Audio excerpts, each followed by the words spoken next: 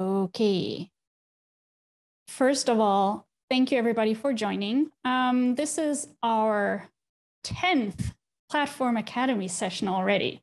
So this is very exciting. It's almost like a small jubilee. um, I'm very glad this series has been helpful for so many people so far. Um, and today we have a special new topic for you. So we're diving into the world of workflows and not just platform foundation. Just before um, I get into things, I want to make sure that you're all aware of the lovely safe harbor notice that we always have. Most of the time, we stay within um, released products, but today we'll actually have a couple of forward looking statements. So, just to make sure, don't make any purchasing decision based on anything that I'll be talking about today. All right. So, today's topic is about all about decision management. So, specifically in the form of decision tables and decision builder. My name is Lisa Hohenstein. I'm an outbound product manager for the Creator Workflows and Now platform. Um, I've been with ServiceNow for almost three years now, and I've had my first contact with the Now platform during the Geneva release. So that was already like six years ago. Incredible. I've been hooked to the power of the platform right from the start, so I'm very glad to be able to evangelize it in this Academy series. In our um, crew, we also have Kiernan. Do you want to say some words? Yeah, hi, I'm Kieran McMorrow. I am also a product manager with the Creator Workflows Group. And uh, I've been inside the ServiceNow infrastructure for about six plus years. And I've only been actually directly with ServiceNow for a couple of months now. And it has been a whirlwind.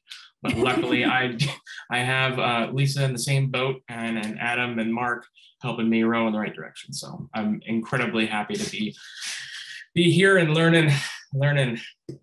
Awesome. Okay, I can see we also have Julia Perlis in um, the viewership. I've just promoted you to a panelist, so if you want to, you can also say a word or two about yourself. Hi, everyone. Good morning, good afternoon, good evening. Show my video here. There we go. Um, I'm Julia Perlis. I'm a product manager on the um, platform team as well, on the workflow and integration team. And um, I have spent a lot of time this past year working on um, guiding the development of Decision Builder, which is the product that Lisa will be um, showing off and, and talking a little bit about today. Um, so, you know, really, really excited to have people start using it, get some feedback, and uh, hope that this makes your business logic lives a lot easier. Thank you so much for joining us. Um, for those who don't know yet, Julia will also be on the Creator Toolbox live stream tomorrow. That is at, I think, 8 a.m. Pacific time or 5 p.m. Central European time um, with Red Tilton and doing a live demo of Decision Builder and answering questions and everything um, then as well. Um, but thank you again for joining this one. Um, Julia will also um, check out the chat and your questions. So please don't um, don't forget to post your questions in the Q&A panel. We'll answer them as we go. And if you ask any questions that we can't answer right away, we'll also post a summary of all questions and answers on the community after the session. This session will, as always, be recorded and also uploaded to YouTube by the start of next week. So um, if you um, have friends or colleagues or other interested parties who don't know about decision management yet and decision builder, but um, are a good audience for this, be sure to share this out with them as well. All right, and with that, let's get into this. Um, first, before we get started, I want to start a small poll with two questions, just to get an idea of how much you already know about decision tables or decision management, and how often you encounter decisions in your daily work. While you answer, I will just start with the first couple of slides here. What are decisions? Well, let's start with the basics. Decisions will need inputs. And based on those inputs, like for example, giving in some kind of data about a user, or request, a requested item, a task, or anything, we can determine conditions. So for example, a user is he maybe a VIP? Does he uh, is he associated with a specific location or other things? Is something larger or smaller? This can be um, referring to a price, to loyalty loyalty points or priority. Or something is between different other data points. So, for example, dates or numbers or things like that.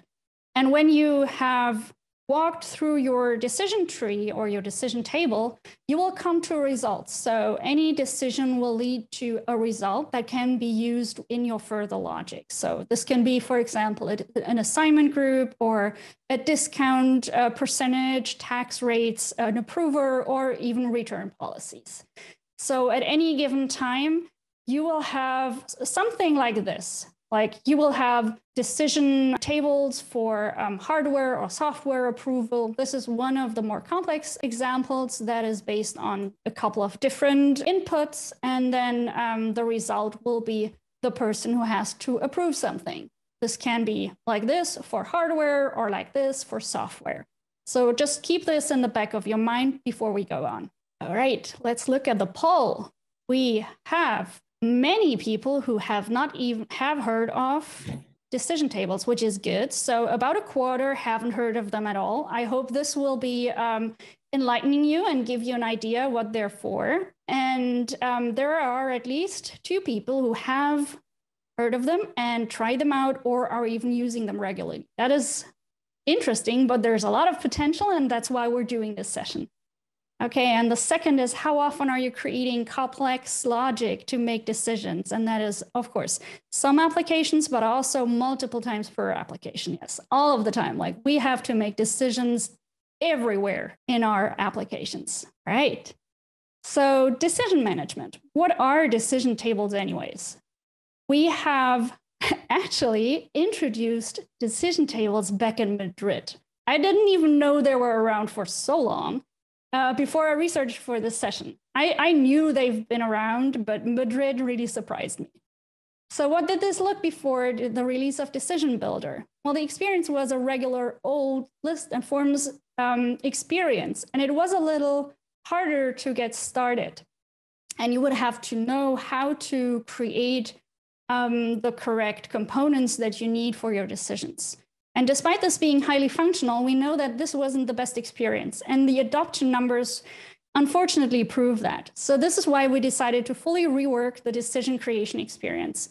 And our teams worked very hard to bring you a powerful builder that enables you to quickly and easily create and maintain decision tables, while also aligning with key industry standards. What else do we need for our decisions? We need some form of result. In our current iteration, you will have to have some form of table that you um, pick and choose from in your result column. So you will either use an existing table, and that can be users, locations, or config items, or maybe even a credential aliases. Or you can also use um, a custom table. So use, use up all of your custom bundle tables that come with your product to create um, tables that return discount levels or reward program levels, tax brackets, whatever you need for your custom app or your app extension. Keep an eye out for what we share later. So in upcoming releases, we'll introduce more options and variety to assigning results. Where can I use decision tables? So right now, there are two main places to use them. And the um, default version that I will recommend is Flow Designer. So this has been, again, this has been around pretty much as long as we had decision tables. So there's a flow logic that is called make a decision. And we go through that in a bit. You can use decision tables in Flow Designer to then create or update records, ask for approvals, or send notifications. So basically add any business logic, any flow logic that you would um, want to use in those decisions, right? In those branches or just after. And the second path that we have is the decision table API. This can be used scoped or global.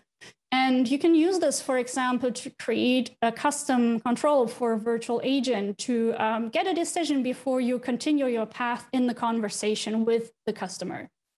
You can also create maybe custom flow action script, use it in UI Builder client scripts or any other script field that you encounter. This will help you make your scripting life easier as well.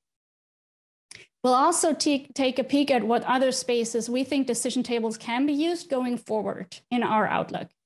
All right, decisions in Flow Designer. So to get an idea of how complicated decisions can become if you go the, the um, if else if else um, route, or even in scripting, if you use uh, case switch constructs, it can get quite complicated and it can be hard to interpret them if you encounter them. So trying to figure out if you're in the right on the right level have you moved another if another if and another if indented and where am i when do i add my logic am i in the right path? It's it's rather complicated. And the good thing about decision tables and the make a decision flow logic is that it will remove most of this complexity from your flows so looking at the decision and flow designer, you can add this. It's in the flow logic category. So there's actions, there's flow logic, and there's subflows. And um, in the middle one, you can pick make a decision, and then you um, can add a label, pick the correct decision table that you want to work with. And then you have a couple of options. One of them is to use branches, and I'll explain that in the next slides you have execution that is either the first decision that matches or running all of the decision that match.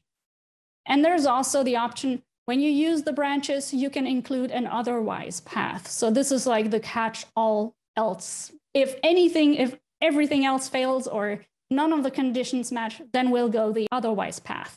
Making a decision with decision uh, tables um, using branches, you can add multiple action to create specific business logic for each result path. So additional approvals, extra checks, additional tasks. And we give you some, we can give you some recommendations on when you should use the branches over when to use them not. So the most obvious answer is if the steps following the decision are the same in principle, maybe except for an, a variable or two, then you should not use branches because if the steps are the same, ask for approval, create a task, change a state, all of them are the same, and you can just input some variables, then skip the branches. Just do your logic and use the output from the decision as your variables. However, if the process is very different, or the actions cannot be configured uh, with data from the decision, or you need a catch all otherwise path, then you may want to branch. So if the process is generally the same, regardless of the decision result, or you have to configure a high number of decisions, or decisions might even change later, try to avoid the branches. This will allow you to only configure the following process once and have it, have it work for all result paths. And you also won't have to touch the flow again if the decision table changes. So it, just imagine you add another row or two and add another decision um, a, a result option, you'll have to touch the flow again to, um, to uh, include actions after that branch. Really, the, truly keep it keep it as simple as possible unless you absolutely need to. yes, yes, always. All right. So what does this look like? Um, on the left side, we can see the branched version. And you can already see that the ask for approval is just repeated four times if you skip the branches, as on the right side, you can see that we only have to ask for an approval once. And then we can also um, use the approver field that is on my result table as an input for my approval. So without uh, using branches, you'll have to do that to each individual brand, uh, branch. And without the branches, you can add the logic just right beneath the decision. So much for branches. Running the first or all decisions that match, that one is pretty much on the nose, so I won't say too much about it. Sometimes you want to just have one result, and sometimes you may want to execute different uh, logics at the same time or sequentially. The default setting will be to only run the first decision that matches, and the decision making will stop after that. And keep this also in mind when creating your decisions. So you can order your decisions in the decision table and it will run from the top to the bottom. So you can reorder the decision in decision builder and the conditions will always be checked in an order and if you only um, want to use the first decision that matches, make sure they have the right priority. If you want to run the flow actions and logic for all matching results, each branch will be executed. So if you unchecked uh, the use branches options, you will then have access to a list, a record list of results and you will be able to iterate this result list with a for each logic. And that looks like this. So the output of the decision will give you an ordered list item that you can pull into for each item. And then iterate through those and again use the data pills as you need them. So much for the fun part and the introductions um, about decision management before we head into decision builder. Do we have any questions so far? I don't see any in the q&a currently. It's really great that you have the ability to iterate over um, that kind of list of items that were generated from there so you don't have to kind of continually rebuild. That's that's a really great feature I hadn't noticed previously. Yeah. All right. Now that we know how to use decision tables, let's look at the new decision builder. And I'm I'm sure Julia is super proud for you to get your hands on it. The decision builder is an intuitive and user-friendly interface to create decision builder. It had its initial release just recently, and it is available on the ServiceNow store. Um, Julia, correct me if I'm wrong, but it is um, available to all customers, right? Yes, that's correct. Perfect. Awesome. So um, from the store, I take that the current version, which is 1.1.0, is compatible with Quebec and Rome instances. So you don't necessarily have to wait for upgrading to Rome to make use of it. And it's uh, currently available um, in your instances for admins, and there's read-only access with decision table reader role. And it's currently only accessed through the application navigator, and that is through um, going to decision management and then decision builder. Julia will do a full demo of this thing tomorrow, but just to give you some um, idea of how it looks, I got some screenshots prepared. So here's the, I am sorry, my neighbors are drilling holes right now. we do have a question in the chat, Lisa. Uh, somebody said no additional cost. That is correct not for at least not for installing it. The starting page of Decision Builder will give you all of the available decisions, and you will see that there are already a couple of decisions um, there out of the box that uh, we're using decision tables for our um, change workflows. So for uh, determining change approval policies, those can already be found in decision tables. When we create a new decision table in Decision Builder, we can choose to have different kind of inputs. We can either input a task or a record uh, of which we will then go ahead and create our conditions based off of fields in this table.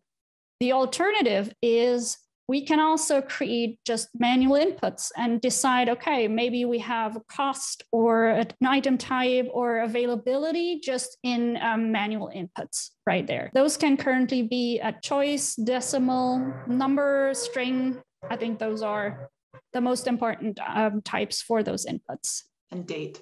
And date, thank you. Yes, of course, date date makes sense. If you add a condition, so um, as you can see in the in the top, I have a demo task. So this table was extended from task. And if I do so, I can add a condition column from that input. And in that um, definition, I can decide whether to um, make my condition based off of the reference record or a specific field on this record.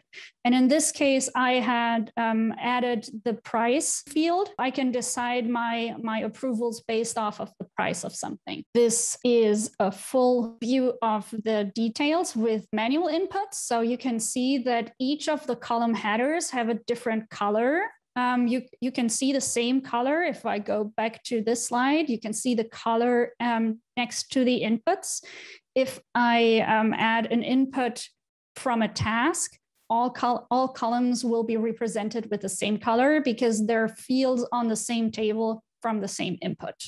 So this will help you if you have multiple references um, or multiple tables and manual inputs to determine which of the columns, which of the conditions come from which input.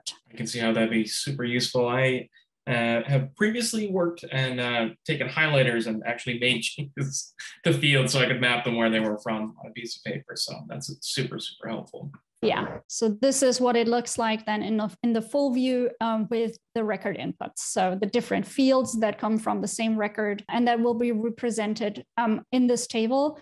And then as if you remember the two tables I showed before, so um, having the, the hardware and the software, in this case, we can make all of the decisions in the same table. A lot of you will probably ask yourselves or ask us, so when do I use this? Like, how, how much sense does it make to go this way instead of my if then else and case switch constructs that I have always used and I'm familiar with them? Why should I use decision tables? Well, First of all, decision tables are reusable. So if you make the same decisions again and again, it is easier to use decision tables. You could say, well, of course, I could just put them in subflows and reuse the subflows. But just think about how much more powerful this could be if you combine decisions with reusable subflows or even bring dynamic subflows into the mix. So based on decisions you make with your decision tables, run other subflows dynamically.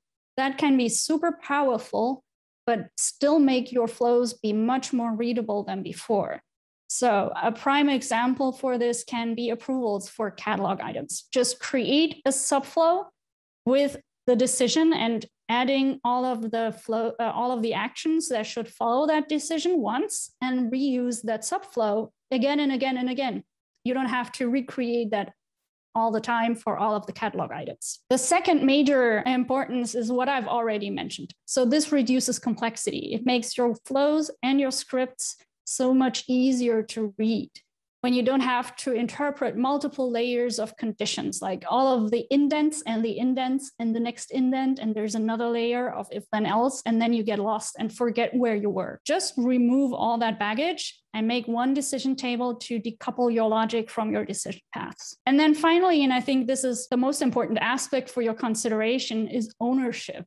Who owns those decisions and conditions? Are those people maybe people outside of the ServiceNow dev teams or even outside of IT? Who needs to make the changes to them and how often? Can you adhere to change or release cycles, which you would have to if you were to change your flows and subflows? Or uh, do you need to work outside of those cycles? Do you have to update decisions maybe more often? So that is really one of the most powerful things is because you can give access to decision tables to business people, line of business um, owners, the one, the people who actually decide how high or how low the, the threshold is before you need an approval for a request. And if any of those questions have been answered with yes, you should strongly consider removing decisions from your code and from your flows and create decision tables instead. Next up would be some outlook. So let's take a quick break for questions about Decision Builder so far. I think everybody's just blown away by all the different ideas that they're coming up with right now. Yeah, I will have some more ideas later um, because I added some use case things that came to my mind, but I'm sure you will come up with even uh, more awesome use cases. Okay, so now that you've learned about decision tables and decision builder, I'm sure you're very curious about what's next for decision management. And as pointed out this, at the start of this presentation, any of the plans and ideas I'm going to go through here, they are st still subject to change. So until they're released and on the store, I don't make any promises. So apps th released through the ServiceNow store can um, have the benefit that they can have more frequent releases than our usual family release schedule. And generally, we will include a previous version in of that app in a later family release. So for example, in this case, Decision Builder, is, I think is planned to have new releases on the store in December and early 2022. Um, and, but the current version that is out right now will also be included in, I think, the next family release. So if you want the newest version, you can always update from store. If you want to use the stable version that just comes with your family release. You can also do that once San Diego comes out. So let's head into our outlook. Decision management is enhancements. We're currently working on these enhancements. We want to integrate Decision Builder into App Engine Studio because duh.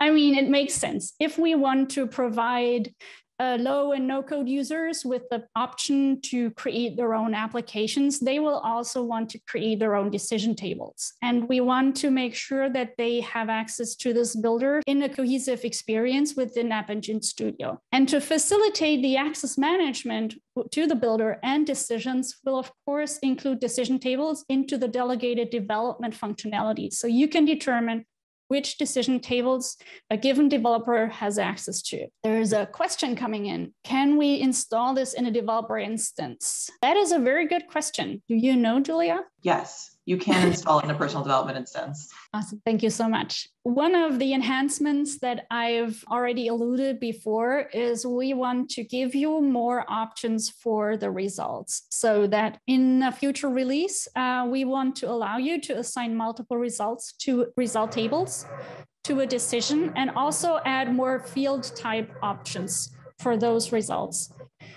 And this is to make um, also, in a way, custom tables optional, optional for your decisions. The drilling drives me nuts. I'm so sorry. So more options for results is numbers, strings, dates, the same data types that we actually also have in the inputs.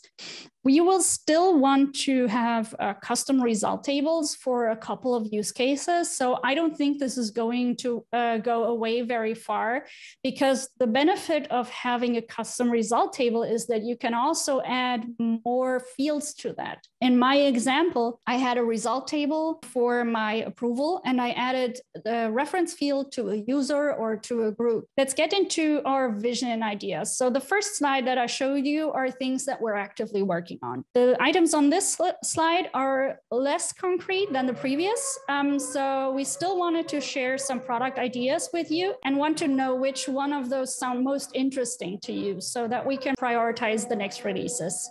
We'd love to offer the option to edit decisions in Excel to further include business stakeholders and non-developers in this process.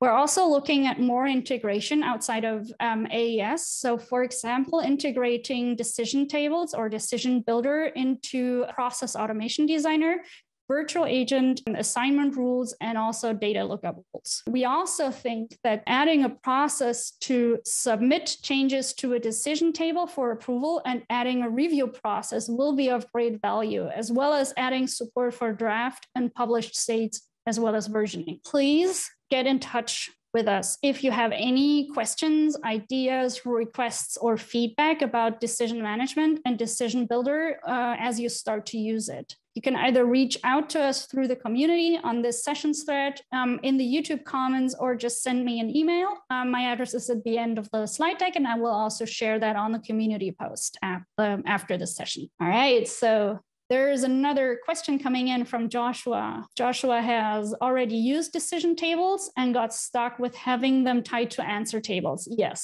So instead of making something like a two column list, yes, this is promising, definitely. So this is one of the um, um, things that we want to solve with the upcoming release is that you don't necessarily have to have an answer table for this. Poll time, more polls. So now we'll have two more questions. Thank you, Kiernan.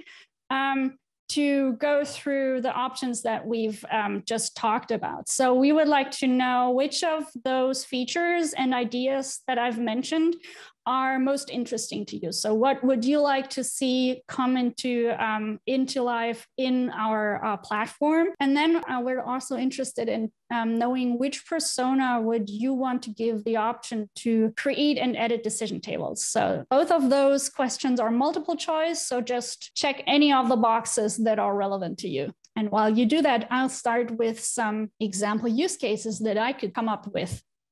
So decision builder, when could you use it? There's industry opportunities everywhere. So, for example, if you're working with service providers or in customer service, you could use this to decide on customer reward program levels, like deciding discounts, return policies, offer a different selection maybe in the service catalog, deciding on which kind of service the customer gets. Does he get extended service 24 7 or extended warranty, maybe early access for new products? All of those those decisions can be made with decision tables.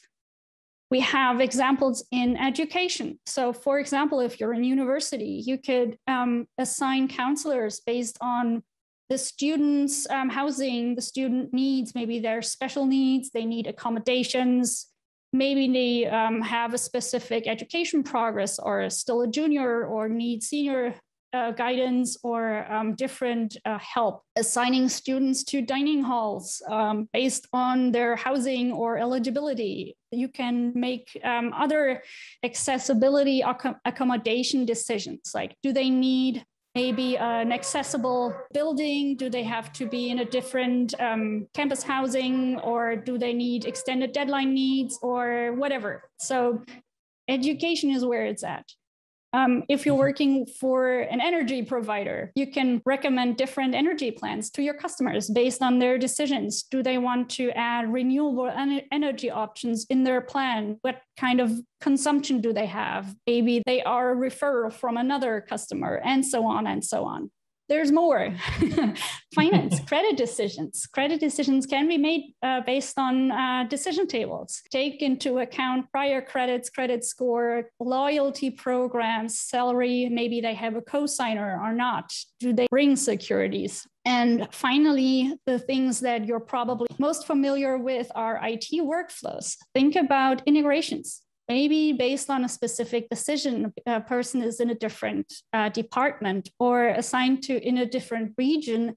Maybe they use Teams, maybe they use Slack, maybe they just use emails. So combining decision tables with integrations, make your decision through what channel you want to send your notification based on user criteria. While I was working on this, I thought, well, when I was a customer, we had this giant, I mean, humongous inbound email script, and it was insane. We had all the if, then, else, and case and switch things only to determine the right queue and the right team to assign the task to. We didn't have machine learning. So this would have been so much easier if I had had access to decision tables back then, but we didn't, unfortunately.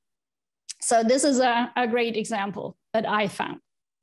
And before we head into the Q&A, I'll publish the results of our decision management polls. All right. Okay, so the majority of people want to share with ServiceNow people. That makes sense. Um, but also, seven out of 11, like 60%, are interested to share decision tables with citizen developers and business or process stakeholders. That is awesome. That is just the right mix. So I am I am excited to see that you think this is a good builder and a good experience for those people. And what are you interested to see? Oh, every everything is interesting, Julia, but assignment rules seems to take the cake. So that is the most important thing here. Everything else is pretty much at the same level. While you were speaking, you know, about the different use cases, I, I definitely could see how um, VA uh, having that uh, integrated with uh, virtual agent could be, uh, I mean, a massive game game changer for a lot of folks. Yeah. Uh, because as you said, you know, you can provide kind of a very customized and tailored uh, experience for people based on, you know, some of the input that they might share, and and definitely going to be a big thing in the next couple of years, I think. Yeah. All right, that was all I have prepared so far. So, more questions. Give me all your questions and we'll try to answer them. All right, so Mark has confirmed in the chat that it's available on the PDI in the plugin list, version 110. That is the current version. So, that is very good to know.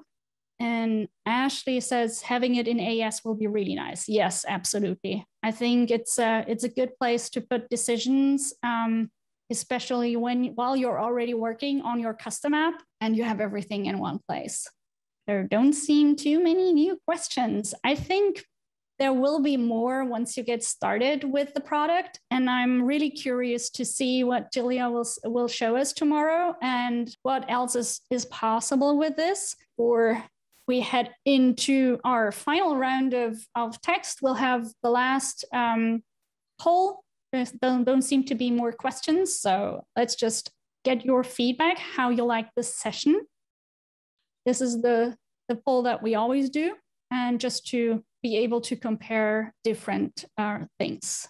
Thank you. Thank you, everybody. Thank you, Julia, for joining. Thank you, Kiernan, for co-hosting me. Um, thank you so much for joining this session and your questions. Don't miss the Creator Toolbox um, on the ServiceNow Dev Program channel tomorrow. I have prepared the link somewhere and I will post it in the channel just in a second so you don't miss it. There we go. This is the YouTube, it's already scheduled. Make sure to also follow the post for this, uh, this link. A quick outlook on the Academy schedule for the next weeks. So I just found out today that today in two weeks is a holiday in the US. Um, apparently, that's Thanksgiving, so we might have to reschedule the next session. Please follow the uh, parent blog for all of those Academy sessions to make sure you get info and, and the newest links and info on, on when and which topics we, we have. We do have a couple of very interesting topics planned with a couple of um, outbound product management colleagues as guest speakers over the next weeks and months. We have my, my colleague Mike come in for a view at platform security. We'll have Amanda Jocelyn come in to speak about Now Experience Framework and we'll have our colleague from Australia join us in, in the middle of his night and um, present something about mobile app builder. It will be really interesting. We'll take a break for the holidays and New Year's, so there will definitely be no sessions on December 23rd or January 6th, and we'll resume our biweekly cadence then on January 20th. And as always, this session will be edited and uploaded for sharing and rewatching on YouTube, so you can follow the community post and be notified when that happened. And then you can also see the full list of Q&As from this session and be sure to link this out with any to any colleagues or friends that you would think this is interesting. We'll also post the slide deck to make sure you have all of the resources and available material and links and everything. That's it. Like we got uh, some results back. Oh yes, let's look at the results. Thank you. Awesome. That looks good. Ah, I love the would you attend again option. I always hope you come again. And I have already seen a couple of recurring faces or names. So I'm super glad this is helpful to everybody. Yes. All right. Thank you. Thank you, everyone. Have a wonderful day. Thank you very Bye. much, Lisa. That was awesome. Thanks, Lisa. Thanks, everybody. See you guys. Thank you. Bye bye.